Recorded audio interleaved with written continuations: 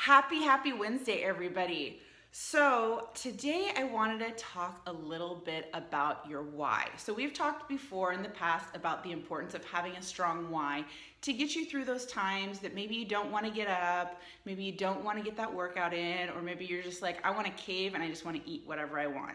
So having a really strong why is going to be paramount to your results, to pushing you through those hard times because there's going to be hard times, guys. And, you know, like I've been completely honest with you guys, I've really been struggling the past few weeks. You know, shoulder injury, I just went to PT, which I'm just like, you're not giving me the answers I want. I just want to get better now. Um, you know, I've been having back issues I haven't really shared. Um, and so it's really easy for me to find reasons why not to get up you know? Like i don't want to hurt my back more i don't want to hurt my shoulder more but i can absolutely still do the moves i just might have to modify a little bit. And that's one great thing about all the workouts is they all come with a modifier. So if you really listen you can hear don't drop so low drop those weights if, it, if it's too hard.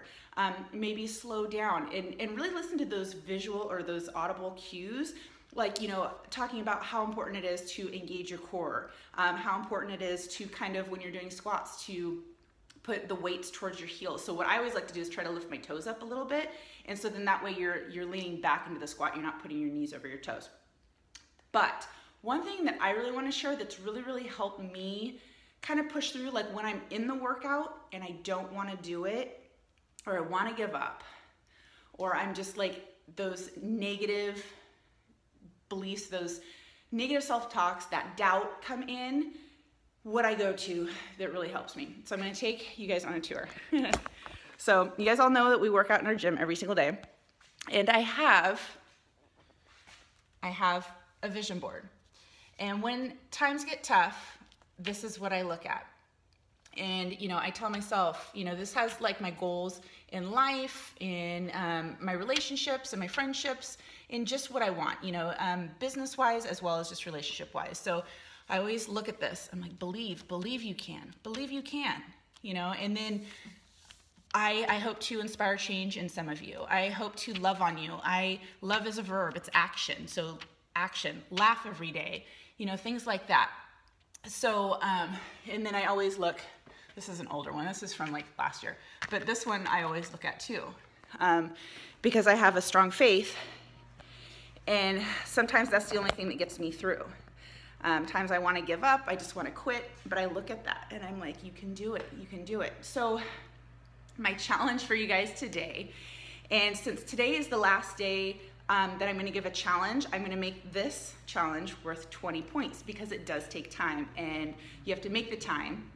And I know we all have crazy schedules. So for those of you that do it, I want to reward you with 20 points.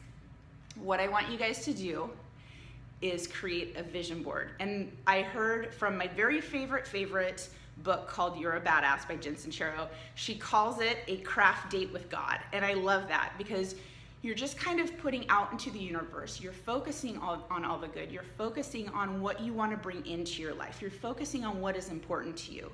So when those times come, and they are going to come, guys, you have something to reflect on, to look at, to focus on, to have purpose So I challenge you guys all to have your little craft date with God today. Um, we will be announcing um, the, cha the challenges I've given so far. I will be announcing the winner tomorrow afternoon. So you guys have until, I'm gonna, I'll give you guys a time so it helps. So tomorrow is church group. So tomorrow at 6 p.m., um, all the challenges need to be done by tomorrow at 6 p.m. and I will be announcing the winner at that time. So today's challenge for 20 points is to create a vision board of what you want of life, business, relationships with God, um, in your health and fitness journey, whatever that is.